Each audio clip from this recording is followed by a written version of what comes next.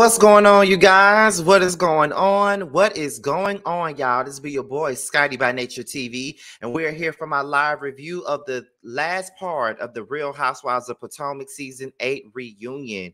What is going on, you guys? I hope you guys have had a wonderful Monday morning, and I intend on doing the exact same.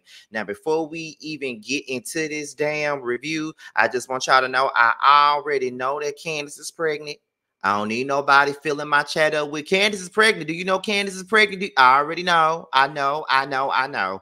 After this video was over with, I will be doing um another video to talk about her pregnancy. But right now, this is all about this damn reunion. So I already know she's pregnant. I literally just found out not too long ago. So after this review, after I do this review, be on the lookout for another video to come out. All right.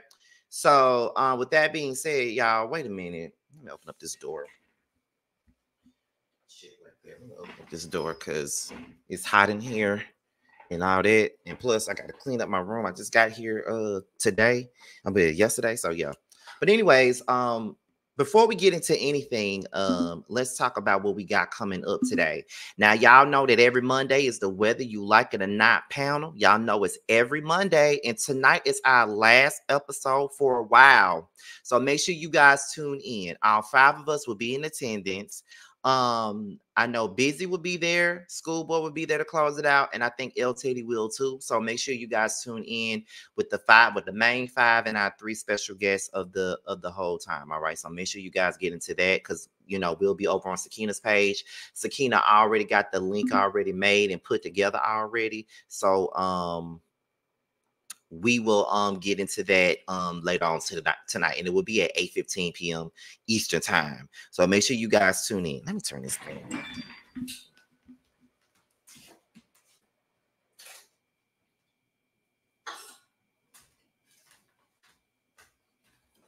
all right so we're gonna get into that tonight at 8 15 p.m eastern time. And yes that's pretty much all that we got for the church announcements. So we're gonna go ahead and get into this review because I know y'all been waiting on me. Y'all know I was in the air while this shit was on last night, and I just got through watching it on Peacock. Okay, so let's go ahead and get into the get down of it all. Let me get my notes because my notes aren't on my phone. So we're gonna go ahead and get into it, honey. Okay, so we pick up where we left off last week. Okay, we pick up where we left off last week with um Gordon and Mia. Gordon reveals that he has that he was diagnosed with bipolar 1. He was explaining the difference between, you know, actual bipolar and bipolar 1 and then there's bipolar 2 and 3. Like I didn't even know that there was like a bipolar 1 or a bipolar 2. I just really thought that it was like if you got diagnosed with bipolar, it was a matter of fact you got you got diagnosed with just straight up bipolar. I didn't know there was like a number to it. You know what I'm saying? I never knew that. But then again, you sometimes you don't really know things like that, you know, at first, because I didn't know there was a flu A, a flu B. I didn't know none of that till I got diagnosed with flu B when I got sick a couple of years back. So yeah, that's that's that's pretty much just it. Um, he was talking about his manic episodes, and to be honest, he said before he got diagnosed, he feels like he already been um bipolar for a long time because he would have those episodes all the time but nobody would ever know what it was you know what i mean? So he feels like he's already had bipolar for a long time or, or whatnot. Um when andy brought up him locking Mia in a room. He didn't necessarily recall that Mia, um, that he had locked Mia in a room. You know what I'm saying? He didn't recall that, but he said that a lot of the times when you are going through um your manic episodes, you know what I'm saying? You really don't, you really tend to not remember some of the things that actually happened when you were in those moments or in those spaces. So um it was pretty interesting. You know, I never would have thought that um he had, you know, bipolar depression. Never would have thought that at all. So that was kind of interesting, um, to say the least. Um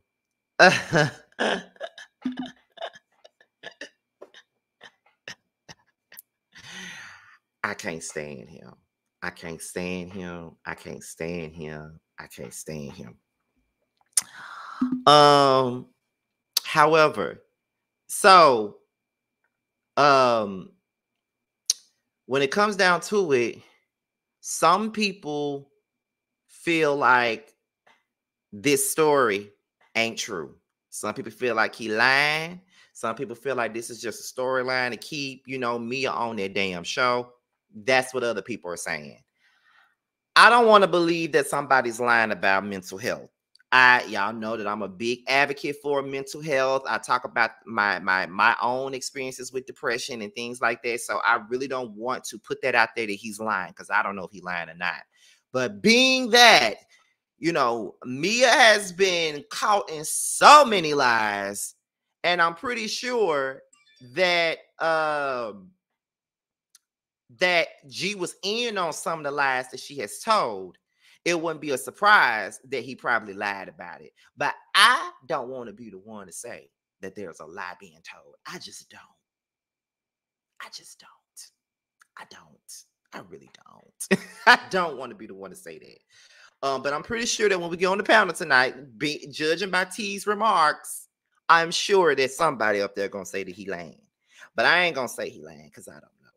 You know what I'm saying? I mean, I don't know. Um, but you do, but I do know that some people deal with bipolar in a different way. Some people deal with have bipolar disorder and they talk about it in different ways. I mean, my cousin Reggie deals with bipolar disorder. And the only reason why I'm saying it here because he said it publicly already. So that's the only reason why I'm saying it here. So some of those actions that that G described, I've seen those before. So that's why I'm not really too quick to say that he lying or whatever. You know what I'm saying? So I'm I hope that he ain't lying. But you know, these people do be lying, you know. So who knows? Shout out to the 200 people that's already in the building. And one thing, and another thing about it is, if you are brand new to the platform, go on ahead and subscribe to the channel. Go ahead and subscribe. The, the numbers are going up at this point. We going back up. We going back up. Okay. Uh, well, make sure you guys uh, subscribe to the channel. Um, Gordon says that he does believe that Mia had an affair during the marriage, but it wasn't throughout the marriage. Um, let's see. Um, Mia says that she's always gonna look out for Gordon. Um, regardless of what's going on, regardless of what their relationship is, she's always gonna be there for Gordon. Always going to look out for him. I was going to make sure he's okay. I mean, I guess that's a good thing, being that he is, you know, uh, the father of her children. But that's probably one of the things that's making people feel like it's a possibility that they ass could be lying about this whole thing because you got a man, but you still caretaking your soon to be ex husband. You know what I'm saying? Like, what man would be okay with you doing that? I ain't never been nobody's caregiver. I don't know how this shit works. I mean, I really don't know, don't understand, don't know. I'm just telling y'all why people may look like maybe looking at this shit like it's a whole lie. Cause it do sound like a lie. Okay, it do. But I don't want to say that because I don't want to believe that anybody's lying about their mental health. I don't. I'm just being honest with y'all. So next thing you know, um, they asked what's Gordon's relationship is with Mia's new man, Inc. He said that he's very cordial with Inc at this particular point. Like he's cordial, he ain't got no problems with Inc. Okay, I guess that's a good thing. Um, then also they asked him about his relationship with his family. He says that the relationship with him and his family is great. Um, he still got his shares to the company. They just knocked him off the CEO thing. So him and his family are great. Okay. So I guess that was the closing to Mia in, in Gordon's story and all that other stuff. So we get into Nneka, which we haven't heard from her for most of the damn from most of the damn reunion. She's been sitting there quiet as a church mouse, but she's tried to, you know, engage and you know insert her opinion somewhere on this damn reunion. She's tried, but not try, not hard enough. She says that the I think it's the um INOU or something like that that she had didn't take, so now she's on the IVF journey to have a baby. And I'm really hoping that Nneka does get what she wants, and that's the, and that's to have a baby because you know a lot of people, a lot of women. It's hard to watch women that's in their 30s, you know what I mean, struggle to have a kid, and we be seeing all these women that be getting pregnant so quickly and don't even want these fucking kids and you see women that actually want kids that's having a hard time having a child you know what i'm saying? It's kind of hard to watch in a sense you feel what i'm saying? But you know like i said no matter how i feel about Nneka, i don't care for Nneka at all but i really do hope that she gets what she wants and that is a child. Um so then they ask um, Karen, you know, um, about the whole North Potomac situation and things like that. And so um Karen says that there's a difference between North and North Potomac. And then they said, uh, Ray, what part of Potomac do y'all live in? And Ray said, We live in central part of Potomac. And then that's when Karen was like, Okay, you better let them know. And I'm like, Does it really matter? But okay, girl. So then um as they get the little fluff out the way, Andy then starts saying that the shrine story was one story that they wish that they never told. That's one story that they wish they never told, right? And um, they said leading into the season, they did not know anything about this real life situation that was going on between, you know, Wendy and the girls or whatever. And she they didn't know anything about the shrine stuff until filming had started. They didn't know anything before that. Andy says that production originally wanted Wendy to um, bring Nneka on the show. And Andy says that Wendy was not too happy about them asking her to bring in Nneka to the show, right? Wendy said it wasn't that I wasn't happy about, you know, um Nneka coming on this show. They said that we got somebody. We got somebody we want to bring them on the show through you, you know, whatever. Do you know them? Wendy said, I really don't know her. You know, I don't know her. And so when it came down to it, Nneka said that um, I met Wendy. I've had a conversation with Wendy. I said all of those things because they actually happened. So Wendy said, So you did say that you knew me. And then Nneka was like, are you are you hard of hearing? Are you hard of hearing or whatever? Do, are you hard of hearing? Um, do you ever listen or whatever? And then when it was like, are you are you angry? Like, why are you so aggressive? Why are you? Well, she didn't say aggressive, but she said, why are you so hostile? I'm not being hostile with you. And then Nneka said, well, you've been lying the whole season. You've been lying the whole reunion or whatever. And so it was kind of like, okay, you know, they're going back and forth about the words no. Now, what I get from this is that Wendy, in my opinion Wendy wanted Keiarna on the show because that's who she knew, that's who she wanted on the show. And on top of that, Keiarna has another history with somebody else on the show besides Wendy. She knows Gizelle because she's friends with Gizelle's tacky ass hairstylist. So that is the, so that's another reason why she could be on the show. It's kind of organic. They kind of know each other, whatever. She felt like she didn't know Nneka at all. Nneka said that, you know, she met Wendy at a concert. They was in VIP. Was maybe like ten to tw- 10 to twenty people up in there or whatever. That's and they had a conversation. So that's what she told them. But Wendy says, "I don't know Nneka," and honestly, let's be real. The word "no" is ambiguous at this point. You know, like people says no. I know a person in a different way, right? Okay, say for instance, Tammy Talks. I know Tammy Talks. I've worked with Tammy Talks before, but I don't know her. You know what I mean? Because we haven't met, you know, we haven't hung out or anything like that. We ain't talked on the phone. It's been pretty much, you know, a respect thing, mainly, you know, a little surface, you know, like she's watched my videos in the past and stuff like that. I've worked with her. We we communicate. Um, on social media. I'm even finna work with her on who was wrong. She's one of the people that's gonna work with me, by the way. So yes, I know Tammy. I know of Tammy Talks because we work together and we're both YouTube colleagues, but we don't know each other. Now, Mims, I know Mims. We hang out. We have each other's numbers. We talk all the time. I know Mims. Okay. Another situation. Let me use somebody else. Okay. Who else could I use? I know Erica De Niro. Uh, well, I know of Erica De Niro. We've worked together on Who Was Wrong. We did a panel together. We're YouTube colleagues. We know each other through the YouTube sphere, but we've never met. We never hung out. We never, you know, had each other's numbers. So we don't really know each other like that. But I know of Erica. On the flip side, Jamie. I know Jamie. We hang out. We got each other's numbers. I've been to her baby shower. She's been to my birthday party, birthday dinner. So we know each other.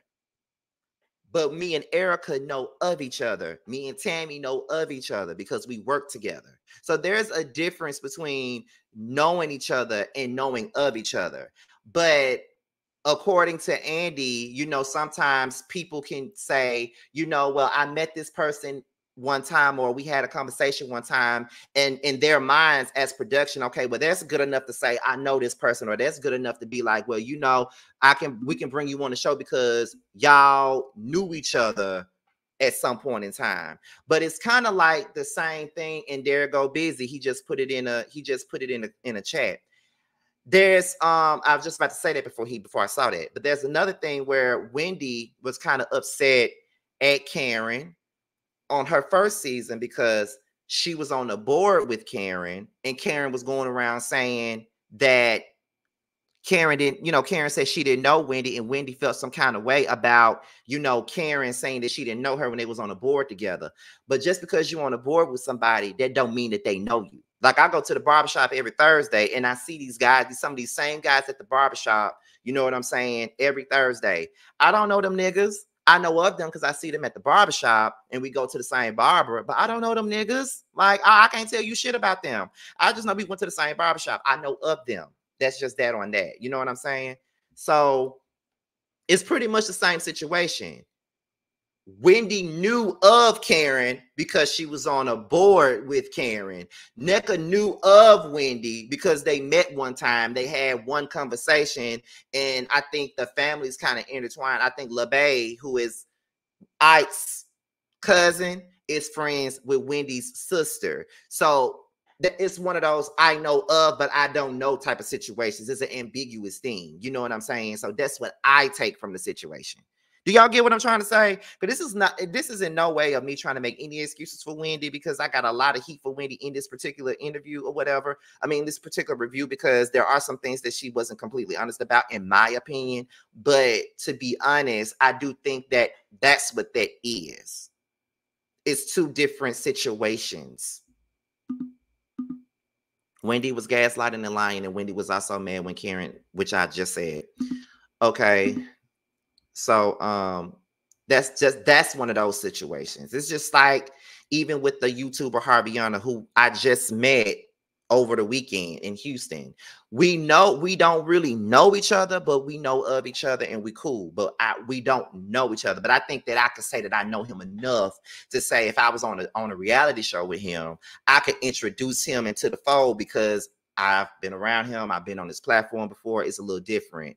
Me and Busy consider each other friends. We haven't met yet, but I got this man's number. I've talked to him personally. Um, he's reached out to me during a lot of you know hard times and stuff like that. So I know Busy, but there's certain people that I just know of, but don't know them. You know what I'm saying? So that's the difference. Um, some of y'all think that it's not the same, but I'm I, okay. But I still don't think that Wendy knew Nneka but I think it's the same thing as Karen not knowing Wendy. It's the same situation. Um, Nneka said that Married to Medicine wanted her first, but you know, LeBay said that she got a um she got like this friend that well another african uh, not african another nigerian sister that's on potomac y'all should get to know each other that's what it was so they asked wendy about osu and then, you know, uh, Wendy was like, well, since Ashley brought it to the show, maybe she can tell y'all what Osu means. So Ashley says that she doesn't know what it means. She really didn't know what it was or what it means or whatever. And then she also said that Ashley, you know, Ashley said that it was brought to her attention, you know, before meeting Nneka or whatever. And then they were saying that um Ashley, uh, Wendy was like, the thing is, you never should have brought it up if you knew that it was a negative consultation. And then that's when um Andy was like, "Is it a bad thing?" And then that's when um Nneka was Nneka and Ike was like, "It's taboo. We don't talk about it." And then uh, Wendy says, uh, Nneka says nobody has really the range to really discuss that, and I'm very uncomfortable even talking about what it actually means. So I'd rather not even go into it. And then um that's when Wendy said nobody should be talking about it. If, if Ashley knew how taboo it was, she wouldn't be talking about it. And um, Ashley says, okay, but I'm not to blame for what happened after the fact. And I feel like, yes, you are to blame because you're the one who brought this shit to the forefront in the first place. Because I just feel like if you never would have would have said that to Nneka, or Wendy or any any one of them, if you never would have told Wendy that, it wouldn't even be no situation right now. You know what I'm saying? I do feel like Ashley played a big part in that, but I also feel like Wendy never really held Ashley accountable for that either. I think that she held Nneka accountable for because Nneka took it and ran with it and made it into a whole damn storyline. I think that's why she pretty much placed all of the blame on Nneka. But I do think that y'all allow Ashley to get away with so much shit. And she really is she's clearly the one that be starting a lot of this shit. But y'all don't be saying nothing about that. Y'all just let her have it, let her make it, and all this other shit. And y'all need to stop letting Ashley do that. Because if it wasn't for Ashley, you know, y'all wouldn't even be in this situation. So instead of y'all trying to hold each other accountable, y'all need to be holding her Stewie looking ass accountable for what the fuck happened. Like, I don't, I feel like Ashley got off scot free in this whole situation when she shouldn't have gotten off scot free at all in this whole situation. She shouldn't have, period. She shouldn't have gotten off scot free with this because she started this shit. She carried that shit and she kept it going. And Nneka kept it going. And the thing is, Wendy and Nneka both look foolish. This is another situation where one of them other motherfuckers then put two folks against each other, have y'all going at it all season when it was them that caused the shit, and y'all done fell out with each other, and y'all ain't even y'all ain't even able to be cool like that because of them. It's the same situation that Gizelle and Ashley did. They cooked up that shit between Candiace and Monique. Then they get the fighting, and then them two added, and they will never be cool again because you know they got into a brawl. It's the same thing here. Ashley played them two against each other, and they're both too stupid to realize that they were played, but they but they're mad at one another. Stupid as fuck. Okay, stupid as hell. I, and, and that's another thing that I don't understand about Candiace and Wendy is that they always are able to be cool with Ashley, knowing that Ashley is probably the messiest mother on this damn show, and she gets the shit going. But y'all be having so much heat for Gizelle, which she deserves the heat. But why y'all don't never have that same energy for Ashley though? I feel like Ashley should be in that same boat with Gizelle. Am I am I crazy? Am I crazy here? Can somebody tell me am I crazy or not? Because I just feel like Ashley likes these matches all the time and let it blow up and and set the shit on fire. Everybody puts the fire out, but don't realize that Ashley was the one with the match or the lighter. Gizelle gets all the heat though. As I said, she deserves that.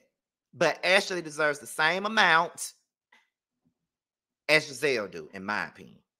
That's what I think. I just want to know if I'm crazy. Um, what else is here? So then after that, they ask Wendy, what does she need from Nneka?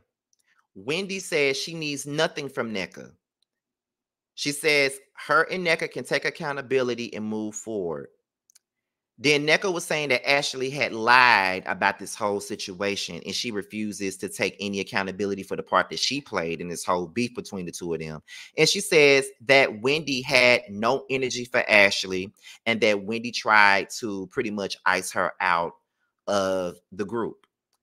Number one, I will agree with Nneka when she says that Wendy did not have any energy for Ashley because she did not have any energy for Ashley. Ashley was the one who brought the bone in the first place. Ashley, the one who kicked this shit off in the first place and played the both of y'all against each other, which is what they always do.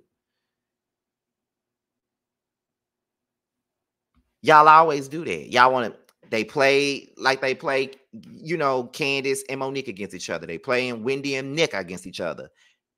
And to be quite honest, though, they kind of play Charrisse and Monique against each other. In my opinion, because they were fine before Robyn and Gizelle got involved in the situation and saying that, oh, uh, Monique is using your contacts and she's using your your your connections and she using this and she using that as if this motherfucker wasn't married to no football player who had connects of his own. So I think they played a part in Charrisse and Monique falling apart. To be honest, they always do that. And another thing, now the second part that I don't agree with is that how the fuck you gonna say that Wendy trying to ice you out the group when her ass is iced out by at least three or four people on the damn cast. Let's be real.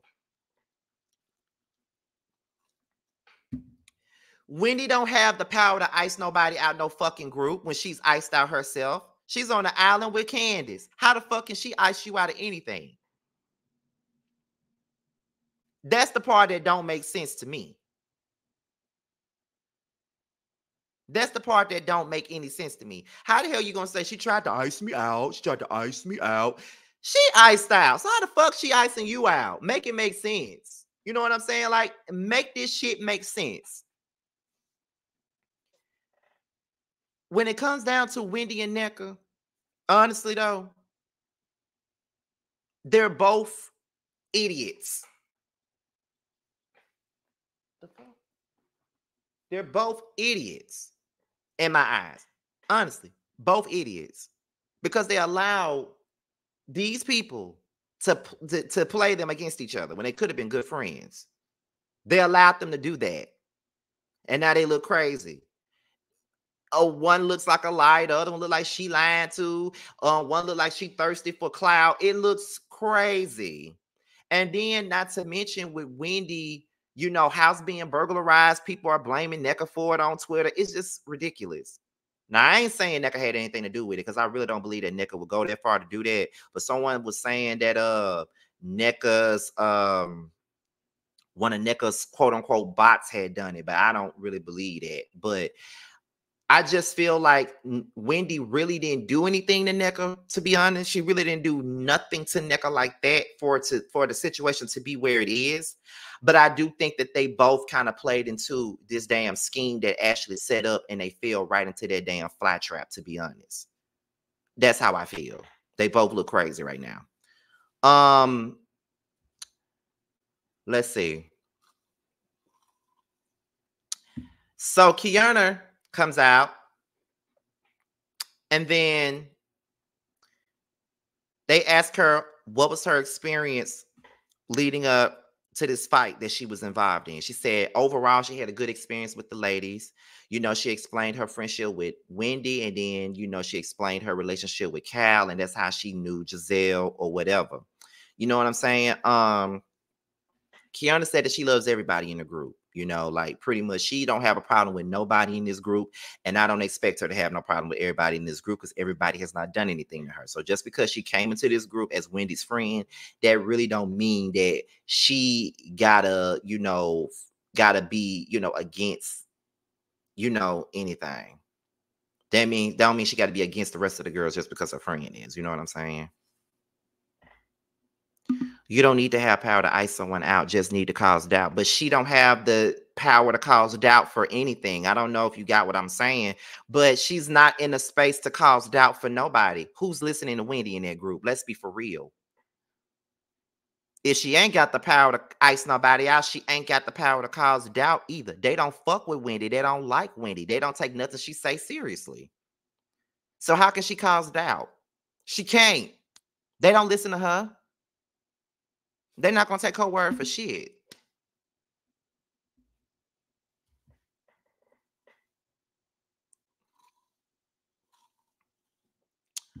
Um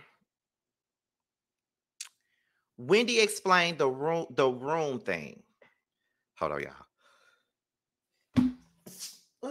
excuse me. Um, Wendy explained the room thing. She said that they all knew that they were going to have separate room. So why on earth would she want to share a room with Keiarna? I don't think y'all all knew that y'all was gonna get Wendy. Honestly, I don't really believe y'all all knew that before y'all came on this trip. Y'all didn't know that until after the fact. So don't play on nobody's intelligence, Wendy, because no, you specifically said, oh, I'm not sharing a room with Keiarna. You didn't want to share a room with Keiarna because she was sick. And then um after that, what happened after that? So then um Keiarna Dean says that it did bother her that nobody checked on her and that Gizelle was the only one that did. So then uh, Candiace says that Gizelle was being strate- strategic and trying to look out for Keiarna. She doesn't feel like um Keiarna, she don't feel like Gizelle was um really that concerned about Keiarna. She only did that to make Candiace and Wendy look like bad friends. So Gizelle feels like that's crazy. They're giving her way too much power. Honestly, in my opinion, I felt the same way when I first saw that. Although I felt like it was dog the fuck out that Candiace and Wendy are supposed to be Keiarna's friend and they're not going in to check on her, got her fighting for her life by herself, and y'all op going up in there to check on her. It was a bad look, honestly. To be honest, it was a bad look. It didn't look too good for her to be doing that. It just did. It just did not look good for Karen, for Gizelle to be the one to be looking out for Keiarna. You know what I mean? So it, it can easily look like, oh, these hoes ain't her friends. You know, it could be easily looked at that way. You know what I'm saying? So yeah. But I also felt like Gizelle was being very strategic when she decided to look after Keiarna, in my opinion. That's just the type of chick that I think she is. Wendy started talking about the talk show that she's doing and how much it was for her to put it together. Then she said that she's giving up, you know, teaching for a minute. You know, her kids are growing up. She's been missing a whole lot of, you know, moments in their lives and she doesn't want to miss anything. So she's done with that right now. She says that her being Catholic is nothing new. She's been Catholic. This ain't new. Um, they start talking about Wendy calling Mia slow and stuff like that. And um, you know, Mia felt like that was really, you know, fucked up. There's people that got mental issues that we shouldn't be using the word slow, honestly. Um, I don't be thinking that people, honestly, this is just my opinion. I don't when people say somebody's slow, I don't be thinking that they're calling them slow to say that they're like, you know, mentally unavailable. I feel like they're calling you slow because you dumb as hell. That's what I be taking from that. And that's not really that good either. But when I call somebody slow, I ain't saying you slow because you mental, your mental. I'm I'm calling you slow because you dumb and you ain't got it all. But that doesn't help. that doesn't help either. So yeah, the yeah. So I get it. Um Wendy apologizes to Nneka, and then um Mia said that she called Wendy called her a liar, but Mia said, but Wendy was like, but you do be lying, and Mia do be lying. So how the fuck is you feeling any kind of way about somebody calling you what you are, which is a fucking liar? You know what I'm saying? So then Ashley, she said that she got a friend that ain't her man, but she got a friend. Okay, girl. Uh, she said that she's going through a toxic cycle with Mike. You know, one minute they are able to coexist, you know, be cool, you know, um, be great parents to the kids, but then they turn around and then they're not able to do that. And then when the filming of the show starts, they're back at odds. But then when the filming is not going on, they're no longer at odds. And as they tape in the reunion, they were back at odds again. So it's like a toxic cycle, and is now to the point to where she has filed a complaint. She says that she's looking to get um, a sizable amount of money out of the divorce and she feels like Michael would be there for the children after the divorce is over, not necessarily her. I don't believe that she really wants no divorce. I really believe that she's only doing this for the public because the public been dragging her every which way for the longest time, you know, about her being married to a pervert. So I don't really believe that she want to get that shit up. She don't want to give up the money. She don't want to give up none of that, in my opinion. That's how I feel. Um, let's see. She said she put her dreams of being um a broad being in broadcasting on the back burner because she wanted to be with Michael. She said that when she met Michael, she was in school. She went to school for journalism. She wanted to well broadcast and she wanted to be a news broadcaster. Um, Michael said he wanted to travel everywhere. And um, with her working a nine to five, they won't be able to travel everywhere. So that is the reason why um she, you know, stayed down with Michael, didn't get no job, just was his you know, stay at home wife, I guess. Um, let me see. So then they started talking about Giselle and Ashley working together on that GNA line, and um, they say they work well together. Um, Gizelle speak on the differences of working with Ashley and Robyn. Um, she says that Ashley will will blow out the of the budget, but Robyn gonna go by every little cent, every cent. She knows exactly what's in that account for the Reasonably Shady podcast, so she knows exactly what's going down with that. So it's a difference with working on the both of them. Um, the girls give their opinions on the fashion line. Um, they weren't the, necess- the weren't necessarily the most positive opinions on the fashion line, but I digress. Um, Keiarna says, so we get into the fight part. This is the fight package. Keiarna says that when it came down to the fight, she was trying to de-escalate the situation. Wendy initially tried to de-escalate the situation because they all felt like they all they knew was that Deborah was getting in Candiace's face. So they were trying to de-escalate it. The problem that I got with this is that I see people on Twitter that's blaming Keiarna for this whole situation, saying that she involved herself. No, she did not involve herself. She was trying to keep them from fighting. You don't want to see them fight. So you stand, okay, y'all, let's let's break this up, you know, whatever. Now, sometimes people be like, you don't need to break up no fight because you'll wind up getting hurt trying to break somebody up or whatever. And I get that part, but they weren't even fighting yet. Like they saw Deborah trail her ass over there to Candiace, and she knew they knew that she came up there to fight. They knew it, so that's why they stood in between and was trying to de-escalate it. Um, Keiarna says, um, they Andy was like, she threw a drink in your face, and what what was going through your mind when you did that? She was like, what was going through my mind when I got a drink thrown in my face was you know, I decided to defend myself. That's why that's why I was throwing hands because she threw a drink on me. And to be honest, that is defending yourself. Once you throw a drink on somebody, that's assault. You got every right to defend yourself however the fuck you want to. If somebody threw a drink in my face, I'm going to try. I don't care if I'm going to lose the fight or not. You throw a drink at me, I'm going to throw my fist at you. You know what I'm saying? Once you once you do that, you have already went beyond measure at this point. You've assaulted me by throwing this drink on me. You violated me. So now it's time for me to violate your ass in the same way. So I don't see why anybody feels like Keiarna was wrong for laying hands on Deborah. She was not wrong for shit. Deborah had no business going over there fucking with them folks in the first place. That's on period. Um Candiace says Deborah came out of nowhere. She said we was all over there dancing, we was all over there having a good time. She beanline her ass over there to Candiace talking about, do you have, do you got a problem with me? Do we have something that we want to talk about? And once I said no, she should have went away. And that is the truth. That is the truth. She should have just left the girl alone. If the girl don't want to talk to you, go away. You coming over there starting shit Leave a girl alone. She don't want to fucking talk to you. Like she doesn't want to talk to you. And then Mia said, let me just come in and say this. Deborah approached me too. And she felt some type of way about what I said in my confessional when I said that she's a four. Like she's a cute girl, but she's a four.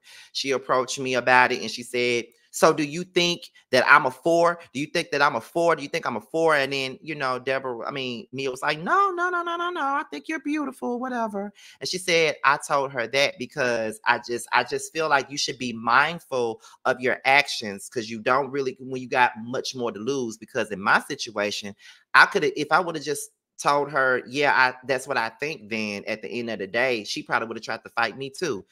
I just think this Mia is the wrong person to give Candiace any type of advice on how to handle conflict because you were the same person that threw a drink on Wendy when Wendy didn't even do nothing to you.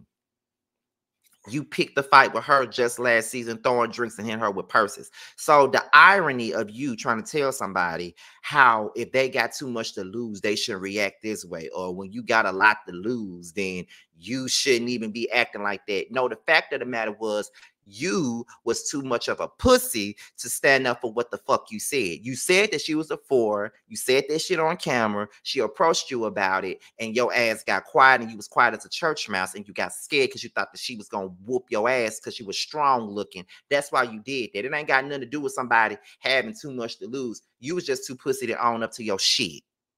If you said it, you said it.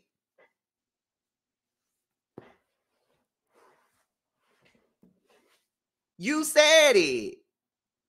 Like you was just being a pussy. That's that's that's that's just what it is. It ain't about handling things differently because we got too much to lose. Did you have a lot to lose last year when you threw a drink on Wendy? Did you have anything to lose when you hit her with a purse? Okay, you're not the right messenger. Shut the fuck up. You always running out every time we get to the reunion. You be having so much to say. Well, you ain't no damn better. So shut the fuck up, Mia. Honestly. Honestly, like for real. Like it'd be so funny how these people that have done things and said shit want to lecture her about what the fuck she's saying. It's crazy to me. It's so weird. Anyway, um, so then Gizelle Gizelle says that everybody's responsible. She says Deborah is responsible, Candiace and Wendy is responsible, and so is Keiarna is responsible. Notice that she left out Ashley name. Notice that part. Notice how she left out Ashley's name. Ashley invited Deborah there for some bullshit. I don't care what Ashley explains it to be. She invited her there because she knew that that girl had a problem with Candiace. She already knew that. She knew that already. And ain't nobody gonna tell me that she didn't know. She knew. That's why she invited her on that damn to that damn place because she knew that that girl had an issue with Candiace off the rip. She already knew that. That's why she invited her because Ashley is messy like that. She do shit like that. She knew what it was given from the very beginning. So, girl, please, like, get the fuck out of here. You really think that we're stupid?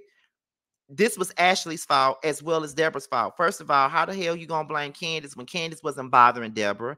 Candiace didn't do anything to Deborah. Deborah came over there fucking with that girl because she felt some type of way. And my thing is, Deborah ain't got no right to feel no type of way about anything Candiace had to say about her because at the end of the day, Deborah had that lady husband name in her fucking mouth on multiple occasions.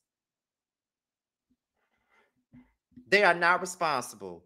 Ashley responsible for inviting her ass to that damn um to that damn reunion. I mean to that damn show. And um Deborah's responsible for going over there fucking with that girl. Candiace said, now Karen was like, Can you please explain what you said, Candiace? Because I don't want to quote you. Candiace says that she was over there dancing, you know what I'm saying? And then that is when Deborah came over there saying that do they have anything to talk about? And so that's when um what's her name? That's when um Candiace was like, No, we don't get this varmint out my face. So then that's when Mia said, You can't do that. And then Candiace says, Yes, I can. Yes, I can. You cannot tell me how to react when somebody comes at me. You cannot tell me how to react. And I just need for Mia to shut her motherfucking mouth. Why are you even talking? In this particular package, you need to be the last one talking. Shut the hell up. How you gonna tell her what she can't do in this predicament when she's the one that's being addressed? She's the one being come. You, know what I'm saying? Like she's the one that's being addressed. So how you gonna tell her what she can and can't do? You y'all do y'all have selective amnesia or something? Like, do y'all not remember the shit that y'all be doing? Like, what about you and how you responded with Wendy was going off on your ass when you start when you started with her? You started with Wendy. That's that's what I don't understand. You you assaulted somebody and you got so much to say about how somebody's supposed to act. It's the whole gaslighting thing for me. That's the part that I don't like. It's the gaslighting for me. Like what the fuck did you want Candiace to say to that girl? She has shit for her. So what what what did she need to say? She didn't want to talk to her. Deborah knew what the hell she came there on. She came there to confront motherfuckers about the shit that was said on the show because she ain't on it. And she wanted a moment. That's what this was. And, and again, this is the reason why I don't understand why Candiace also give Ashley a damn pass too. Because a lot of y'all be sitting up here trying to um trying to come for me when I call Candiace out on her bullshit when it come down to this Ashley shit. And she do be on bullshit when it come down to this Ashley shit. Because at the end of the day, one minute she reading her down, then the next minute she want to be cool with her. Why the you being cool with her and she set this girl, she brought this girl here to confront you. Not to mention, when you got into the fight with Monique, you felt all kinds of ways about her writing that damn statement for Monique, making you look bad. You was mad about that too. So how the fuck are you able to be cool with her? I don't understand that. When she wrote that statement to help Monique's case, it was fuck you, Ashley. Fuck you, Ashley. Fuck you, Ashley. It should have stayed fuck you, Ashley. After that, it should have stayed that way. But you be so quick to try to be cool with these motherfuckers. And that's the part that I don't understand. You bring up the colorism claims, you do this, you do that, but then you yearn to have a friendship or a relationship with the likes of a Robyn or Ashley, the same people that keep on showing you that they're not your damn friends. And let me address something really quickly. Now, I was looking at Busy's video last night because he was talking about how the line keeps moving and so does the bloggers. Now, let me just say this because I'm not no hit dog and I ain't hollering, but I'm going to say this. Now, um, I have not always been Team Candiace. Like, I'm really more so for the team of what's right and what's wrong. Now, when the whole colorism thing first came about during the fight, with Candiace and Monique, I did not understand because I felt they were both brown skinned girls. So I didn't understand what people meant by colorism because when people was feeling like I was defending Monique, which I actually wasn't, they were calling me a colorist because I was like, you know, my because of my stance on the fight. My stance on the fight was Candiace and Monique both was responsible each party played a part. One played more of a part than the other one. Like I felt like it was um the drag me Monique was a big excessive. Like if you don't want to fight somebody, you don't challenge nobody to drag you because some people are dumb enough to, to drag you. Never underestimate your opponent. If I know I don't want to fight you, I'm not gonna tell you to drag me. I'm not gonna tell you to slap me. I'm not gonna tell you to do any type of I'm not gonna challenge you to do any bodily harm to me when I don't want it. You know what I'm saying? And because she did that, Monique went on and decided to drag her like she wanted to in the first fucking place. Now, was it necessary? Absolutely not. But that's what happened. So when it came down to that situation, I didn't understand the colorism part when it came down to the fight with Candiace and Monique. Now, I understand eh, by that point, I understood what colorism was because of the whole OG and Evelyn thing. I definitely understood it. But the thing of it is, I didn't understand it when it came down to Candiace and Monique because I'm like, both of them dark skinned. So there's there's there's what, what are y'all talking about? I didn't understand it. You know what I'm saying? So then after Monique left the show and I started to really see because I felt like Candiace was supported most of the time. Like I saw Gizelle and Robyn supporting her. I saw Charrisse supporting her. Like I felt that she was supported. And then, you know, as time went on, I did see how she does get blamed for things that really ain't her fault. Like with the Mia shit, the whole both of them throwing arugula at each other. Like they solely tried to blame that on Candiace. And I felt some kind of way starting in season six because just last season, y'all went in on Monique about this fight and saying that you should always fight with your words and words should never make you want to get physical with nobody. But at this that very next reunion, Gizelle looked at Candiace and said, you said your mama to Mia. Now, if Mia were to slap you, then I'd be like, so that goes against what you just said a year ago. It goes against what the fuck you just said a year ago. So that's where the tides began to turn for me because I'm like, they only go based on who they like at that moment. It's not really it's not it's not necessarily what they really believe It's based off of who they like at that moment. So that's why my tides began to turn because I would always say I'm indifferent to Candiace. One minute I like Candiace, the next minute Candiace getting on my nerves. I would always say that I'm indifferent to her, always. Even during season five, that first half of season five, I defended Candiace before that fight like it was nobody's business. You know what I'm saying? I defended her down. If you go back and watch the first half of season five, I did because I felt like Monique was fake as fuck to her that, that first half. But when it came out to that fight, I did feel like they both played a part in it. Monique more so.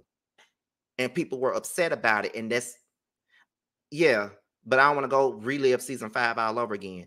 But season six is where the tides began to turn when I saw Gizelle say that to Candiace at their reunion.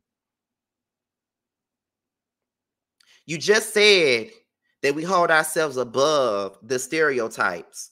And in five minutes, Monique took it away when she struck Candiace. But on the next reunion, you look at Candiace and you tell her that because of her mouth and the shit that she said to Mia, if Mia wanted to pop Candiace, she'll be like, So that means you don't stand by shit that you said. If you not for violence, don't be for it in any situation. And another thing,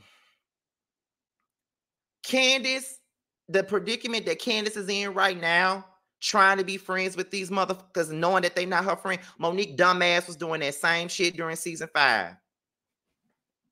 They fall for that trap every fucking time. They play y'all against each other. Y'all fall for it. And that's just what it is. And I call Monique out for that season five, but don't nobody remember that.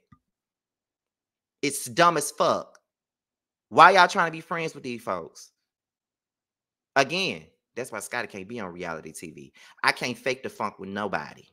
Once I don't fuck with you, I don't. And that's a done deal. You better ask some of these folks around here. Um, let's see where we at with that. Um, I just feel like Ashley doesn't get any blame for this when she is the one that invited that girl there. So then Ashley says that Candiace's mouth plays a part in some of this, some of these things that she's getting into. And I'm just like, here we go with the one-sided bullshit. Here we go with the bullshit. Okay. Is Candiace mouth reckless as hell? Absolutely. It's reckless. Dwindling uterus, bed witch. Where's your in where's your income, roach? All that. Yes, her mouth is reckless. Karen's mouth reckless. Her mouth reckless too. But y'all not Ashley mouth reckless. Most of y'all got reckless mouths. So if y'all want to hold somebody accountable for the shit that comes out their fucking mouth, hold each other accountable for that. Candiace ain't the only one that say crazy shit. When Karen said that Gizelle had a fiery box, that was a lot. But we ain't talking about that though. We just gonna stick on Candiace and her and her wide ass mouth. We're gonna stick on it. Again, the line keeps on moving. This is the reason why I kind of the tides for me began to turn around season six. Then, not to mention, Ashley gonna say, um, Nneka says, Nneka also says that Ashley's words play a part. You need to shut the fuck up because you don't know that girl like that. Um, then Ashley says that she didn't invite Deborah to be messy, but Deborah also wanted to clear the air. I wouldn't give a damn what air she wanted to clear. There's no air to clear. If she wanted to talk to Candy, she could have did that shit off camera. You know what I'm saying?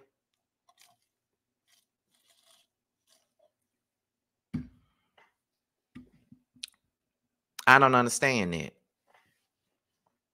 Please get the fuck out of here. You knew exactly what the hell you were doing when you invited her to this damn event. You knew she had smoke for Candiace, and that's why you invited her ass. Period. You could sit up here and act like you didn't know, or you didn't know she was gonna act the way that she did. All the you want to. You knew. Period. You knew that. Um Ashley then apologizes to Keiarna. Then Keiarna knows she tickled me when she clocked the shit out of Ashley. She said that Ashley is the queen of aftermath apologies. And Ashley was like, you know, um, why is it called an aftermath apology? Like I said, I was sorry about the whole thing. And then Keiarna said, Well, at the end of the day, I think that you get off scot free with the drama that you cause and stuff like that. But that's just my opinion. And so I'm like, there was like a aftermath apology because why are you apologizing to me now? Where was the apology when it was needed?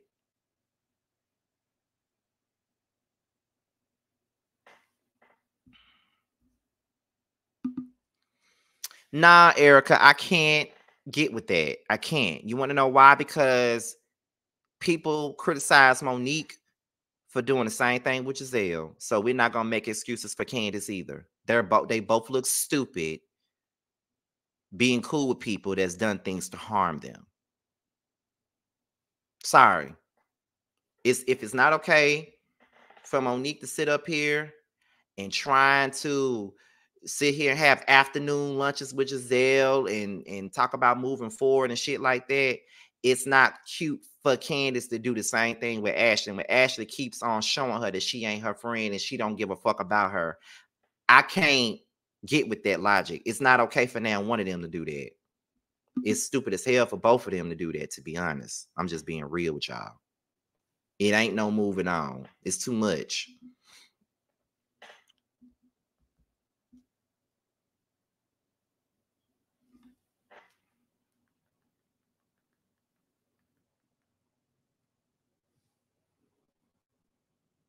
Okay, let me go back down to my notes. Okay. Keiarna gives her love to Karen. And then, you know, Keiarna thanks all of the girls. But this is a part um, of this fight that I did not um, actually talk about on this review. So I'm going to talk about it now. The part where Candiace, after Candiace was blamed for the whole thing, um, Candiace looked at that couch and says, I know that y'all are not going to fight for me. I know that. So I'm on my own. I feel so bad for her, honestly. She knows that she's not safe. She knows that she really ain't got nobody to have her back.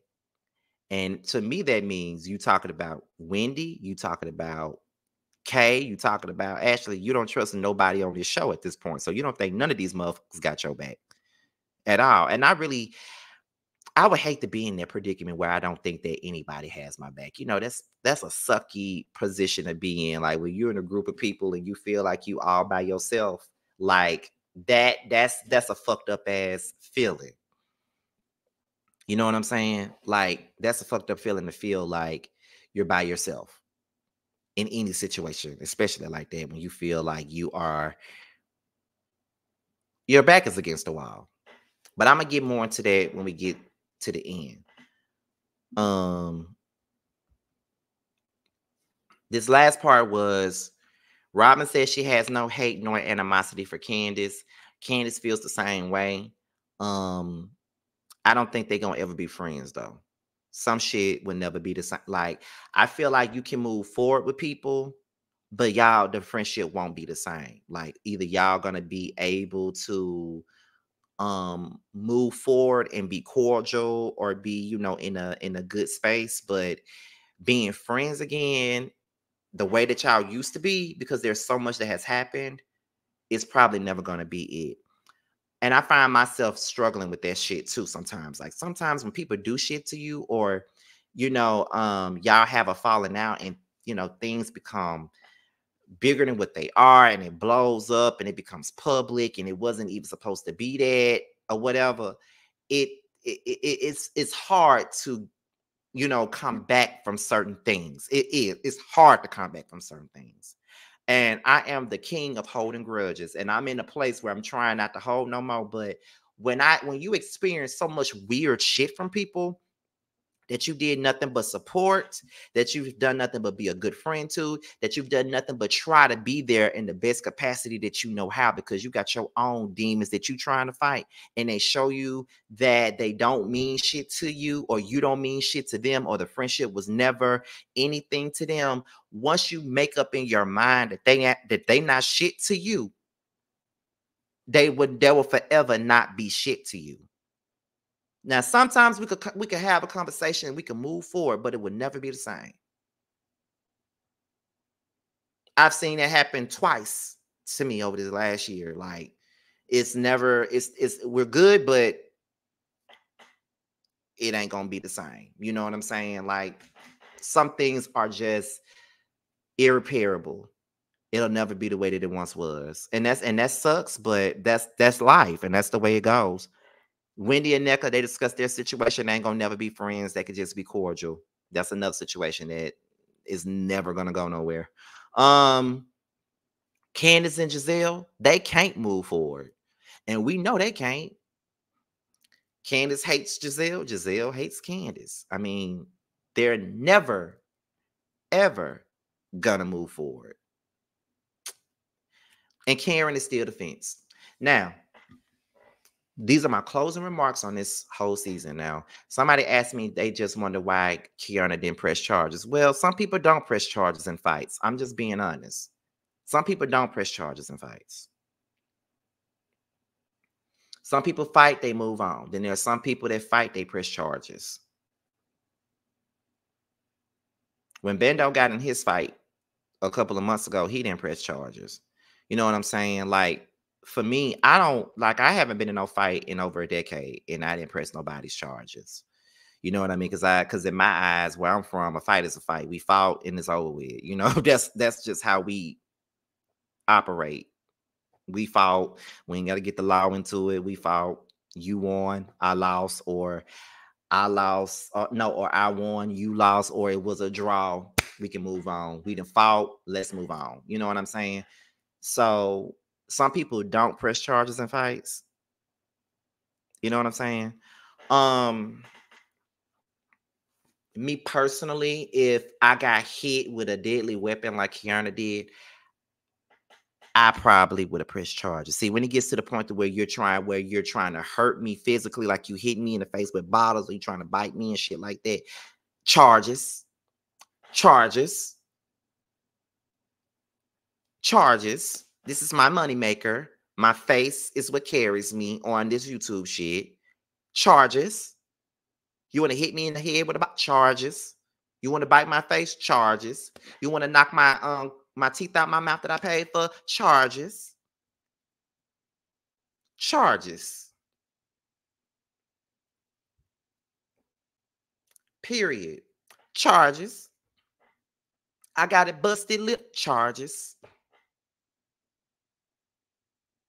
If it's just a regular fight and it wasn't that and it wasn't that bad, we can move on. But the moment I see anything fucked up about my face, charges. I'm just saying. Um that's how I that's what I think about it. Um Nneka. You know, I'm normally the type of person that be like, you know, give her a second season, see how she turns out next season. You feel what I'm saying? I normally be the guy to say that, but Nneka really didn't make no impact. It was nothing that she did that made an impact at all. I do know that Drew Sidora, a lot of folks did not like Drew when she first came on, and um, they winded up liking her the second season. But some people still don't like Drew. I love Drew now, but you know, I felt like maybe she could have the Drew Sidora effect and come back next season, but nah, go. Um, let's see what else. Ashley, she needs to go. She ain't bringing nothing. She ain't doing nothing. Um, I don't Bemo believe that her and Michael getting a divorce and the man in the moon. I just don't believe it. She lying to some of us. Like I just don't believe it. Um, but she needs to go. Her time has run out. She been ran out. It's over with for her. Leave, go. Um, Candiace, as far as she goes, I understand why she left. Um, watching this reunion, I feel like she made that the made the right decision to leave because no matter what, she was going to be blamed for everything anyway. And as of today, I you know I know that she got like know news that she just reported, what that she just put out there. So that may be another reason why she decided, okay, this shit ain't for me. I ain't gonna do this shit no more. That's how that's how it feels. Um, who else? What we got next? Um, Karen Karen needs to take accountability for her drunk driving next season if she comes back. That needs to be the thing. She needs to take accountability because all these excuses that she made in her in her um what is it in her statement absolutely not that's not gonna cut it for me you got to take accountability for putting yourself and others in danger because you decide to drink like you ain't got no damn sense Robyn, glad she's gone. Um, I won't miss her. I'm glad that she's gone. I've been waiting for her to leave for a long time. And uh yeah, bye. Um am I forgetting somebody? Mia. Mia lies. I don't really believe nothing that comes out of her damn mouth. And um I really don't know where to go with Mia at this point. Um, they're setting her up to be the next face of this show, is what it looks like to me. But yeah. Um, Wendy. I need more from Wendy if she comes back. I need to know more about her family life. I wish we knew why um Eddie's wife, Eddie's mom, or her or his family, um, however, don't like Wendy. I would love to know more about that. Um, but we need more from her. Gizelle, bro, Gizelle needs to be held accountable. She needs to stop being protected. Monique already talked about how she got protected at the season five reunion. She had a whole breakdown and they didn't even show it. The same way Ashley said that she had a hard time at the reunion, but we barely seen it. Y'all protecting some of these girls, and it's apparent. They were saying that same shit about Housewives of Atlanta saying that Eric was protecting them girls, protecting Sheree, protecting Marlo, leaving Candy and Kenya out to dry. So that's what I believe. Um, as far as the season goes, I give it an F. It was terrible. There was really no good parts. It was not enjoyable to watch. It just wasn't good. I wasn't I wasn't feeling it. Like eh, they got to come back. Like I'm I'm I'm glad that they um that they've decided to clean house a little bit and all that, but they got to they really got to come together and get this shit together because if the cast if we lost Candiace and Robyn and Nneka, those are three people, and the only people that we got left is Wendy, Karen, Gizelle, Mia, and Ashley. Them the five that's left right now. They got to do something. You bring Keiarna in as a full-time flute holder and bring in probably maybe two more people. And then you got to reboot. I don't want Charrisse. I don't know why y'all keep forcing her on us. We don't need her. We don't want her. Stop bringing her back. Period. I don't want her back. I don't want to see her. She does not do anything for me. She can have as many connections as she got or won't, but no. Um, so one of them girls from Love and Marriage DC maybe could do the show. I mean, I will. I want to see Ashley Silver on this show. Honestly, I would love to see Ashley Silver on the show. She'll be the one to get Gizelle ass together, in my opinion. But a lot of folks don't like Ashley you know, with her mean ass. But uh yeah, that's about that's really all that I got for the Housewives of Potomac. Now, one more thing before I go, because I know a lot of y'all um that's up in here watch my LAMH videos. Now, for those of you that saw my community wall post, me, JoJo, and Mims hung out together Friday night. We went out to dinner or whatever. And we were just talking, and Mim said to me, I know you said that um you don't want to do Love and Marriage Huntsville anymore, but I feel like you should. Um, look at it as a business. You know, um, that's one of your highest rated videos. Um, whether the people hate you or not, they still watch. So I think that you should do LAMH again. I don't know. I'm still because I I get what Mims is saying. I'm taking heed to everything that he's saying. I just don't like to go back on what I said because I was very adamant about not doing it. But then it was just like, you know, Mims got a point, and I really ain't got shit else to review no more at this point. So why not do it? But I don't know. I'm still going back and forth about it. Um, I don't know, but I do know that um Roaster Review is coming back, but we not doing it on LAMH though. We refuse to do it on there, but I I don't know. I'm just really not. I don't know. I'm not. And plus, I ain't got nothing. Like I said, I ain't got nothing else to review after this. So it's just like, should I go against what I said and go back and do it? I mean, I don't know. I don't know. It's not. I don't know. I see uh two is saying no, but you know, a lot of people keep on saying we want your reviews, we want your reviews, we want your reviews, we want your reviews. So I don't know. It is what it is. But anyway, um, I'm about to go ahead and get up out of here, y'all. Um, I hope you guys enjoyed my um my Potomac reviews. I really do hope so. Um, and that's about it. So um I hope you guys wished JoJo a happy birthday. We turned the fuck up for his birthday. Um we turned we turned up for his birthday. We really did. We turned all the way up for his birthday. Every time I go up there, um we turn up and I be tired by the time I get home every single time. But um, JoJo had a great birthday. Really, B showed up. We had a great time, um, or whatever. So yeah, my boy had a great, great birthday. And um, JoJo is actually coming back to YouTube. He has a lot coming up. He got like six videos that's ready to be released. So when he come back, I hope you guys support him and everything that he got going on and things like that. So um yeah so that's pretty much where we're going with this um we got a lot of deep dives coming this week um, because there's nothing else to really talk about right now because I have given up on love and hip hop. I'm probably never reviewing that again for real, for real. So I don't know. That's another reason why we were looking at LAMH because he talked to me and I'm just like, I don't know, child. I really don't know. But anyway, y'all, that's about it. So we about to go ahead and get up out of here. We had over 600 people in the chat today. I appreciate you guys and all of your support.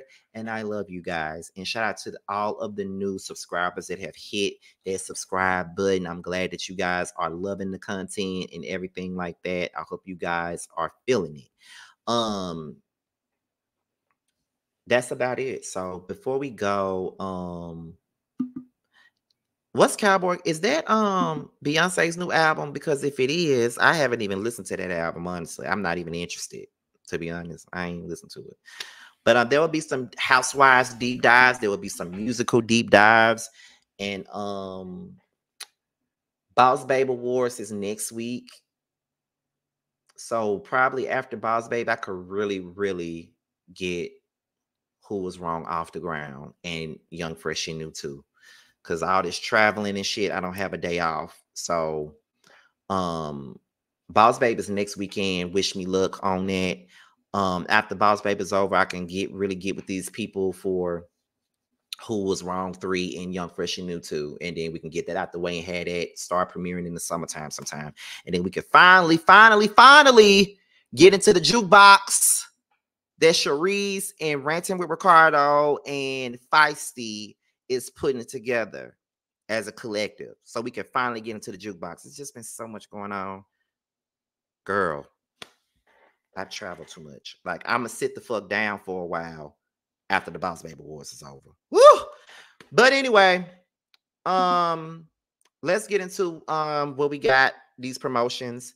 First things first, the Chasing panel airs on Thursday night, honey. Um, it comes on right after Chase and Dallas. So make sure you guys tune in for myself, for Jamar, for Carl, for Tramel, for T, for Jeremy. And then, of course, now we be having Bando come in as a special guest from time to time. And it seems like y'all kind of enjoy his input. So, you know, um, he'll be coming in here and there, you know, from time to time. So um, shout out to him. Um, also, I wish I had the link to give to Feisty and them in the um, mod chat. I forgot to give it to them. But if you haven't already, go ahead and pre-order Tramel's new single um, called the Everything Remix featuring Rico with a K. It's available for pre-order right now. So make sure you guys support and pick it up. Um, the video was already filmed. I was there, of course. So make sure you guys support him. Um, Carl, his stage name is K Star. He has a brand new single out right now called Cock Goblin. Okay, so make sure you guys support it in purchase. And last but certainly not least, Bando has a new record out called The Nasty Remix, and it is available now. And it features Tay G, Alana the Blonde, as well as the Hood Hoes. Okay, make sure you guys support it because it's already number 10 on my replay list for 2024.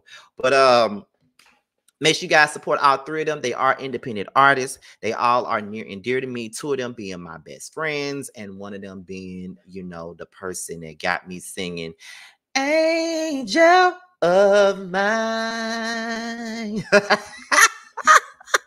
anyway, with that being said, you guys, this is your boy Scotty by Nature TV. Be sure to like, rate, comment, subscribe, share this video, and also click on the notification bell so you can be notified whenever a video drops. And if you want to follow me on any form of social media, my Twitter, my Instagram, and my TikTok will be down below. With that being said, you guys, I am out here. Um, I got one more video to do for you guys, and that's about Candiace and her pregnancy. And then, if nothing else comes up, the next time y'all will see me today is for the panel, which will be on Sakina's page. I will be sharing their links shortly after this video is done. I'm going, y'all, and I will leave you guys with the promo from King Darius Books. And I'll talk to y'all later. Bye.